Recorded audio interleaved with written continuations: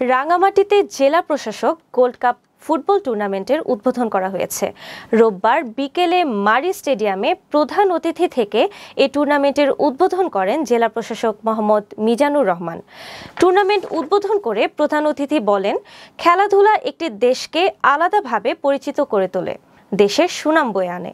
খেলাধুলা শরীর ও মন যেমন ভালো রাখে, তেমনি একটি সুস্থ জাতি গঠনে গুরুত্বপূর্ণ ভূমিকা রাখে। পুলিশ সুপার মীর আবু তৌহিদের সভাপতিত্বে এ সময় আরও উপস্থিত ছিলেন অতিরিক্ত জেলা প্রশাসক এস এম ফেরদৌস ইসলাম, অতিরিক্ত পুলিশ সুপার মোহাম্মদ জাহিদুল ইসলাম, জেলা ক্রীড়া সংস্থার সাধারণ সম্পাদক শফিউল আজম এবং ক্রীড়া ব্যক্তিত্ব বরুণ বিকাশ দেওয়ান। এইবারের টুর্নামেন্টে জেলার দশটি উপজেলার ফুটবল দল অংশগ্রহণ করেছে।